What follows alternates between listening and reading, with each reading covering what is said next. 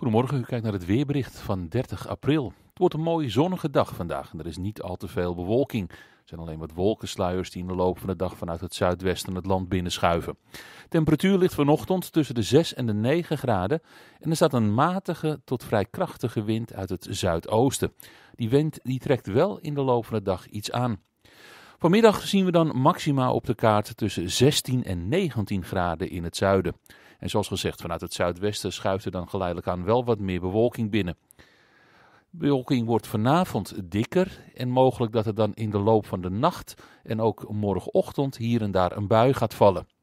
Morgen overheerst ook de bewolking. Temperatuur ligt in de middag tussen de 13 en de 15 graden en de wind die neemt geleidelijk aan af en wordt matig uit het zuidoosten. Na morgen blijft het weerbeeld wisselvallig. Er is over het algemeen veel bewolking en er valt van tijd tot tijd regen. De maxima liggen zo tussen de 13 en 15 graden. Mijn naam is Raymond Klaassen voor Weerplaza. Ik wens u een fijne dag.